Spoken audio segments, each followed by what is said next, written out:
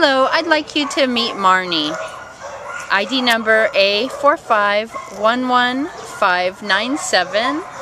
She's a short-haired Chihuahua stray, came into the Carson Animal Care Center from Los Angeles. Uh, white with little markings of tan on the tail and her ears.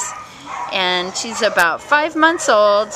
Very cute, sweet, lovable, very good on leash. She'd be great in an apartment building, um, just cuddling up with you on the couch as you watch TV, or to go for a little nice walk around the block.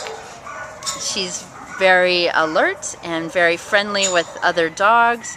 She'd be great for children and just a great pal to have and very sweet, very pretty. And again, her name is Marnie and this is brought to you from your friends at the Carson Animal Care Center.